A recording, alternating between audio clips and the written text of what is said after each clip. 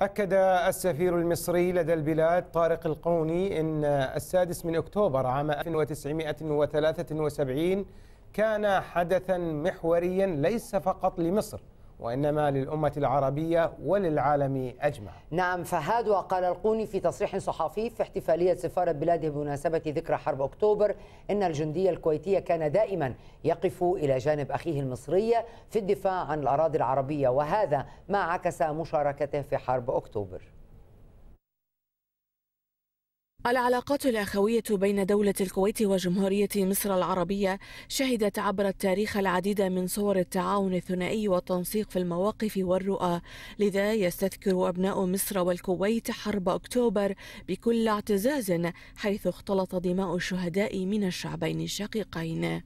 ومستذكرين كذلك مشاركة ومساندة الجيش الكويتي مع أخوانه في الجيش المصري واللي ولد هذا الشيء شهداء وسالت دمائهم على أرض مصر الحبيبة في سبيل الدفاع عنها. احتفال جاء يؤكد عمق العلاقات والشراكة الاستراتيجية التي تمتد إلى شتى المجالات على مدى عقود من الزمن. هناك تقارب كبير في المواقف بين البلدين تجاه مختلف القضايا الإقليمية والدولية. المصالح مشتركة والتحديات مشتركة وهناك حرص من مصر على تدعيم هذه العلاقات في كافة المجالات واقتصاديا تجاريا ثقافيا تعليميا.